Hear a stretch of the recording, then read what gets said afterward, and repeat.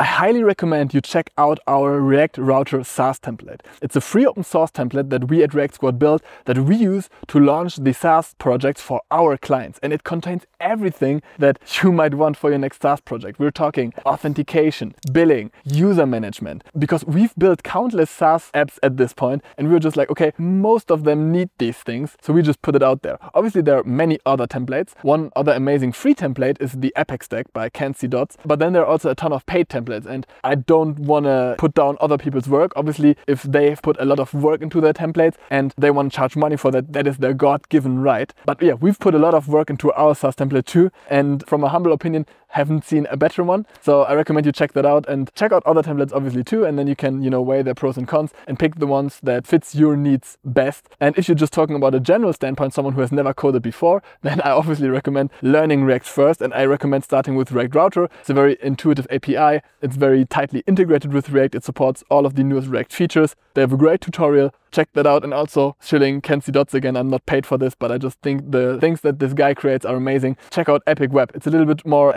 expensive, so you might need to look into purchasing parity options if you're from a country who's not using the dollar. But his training is very great. I can only recommend it.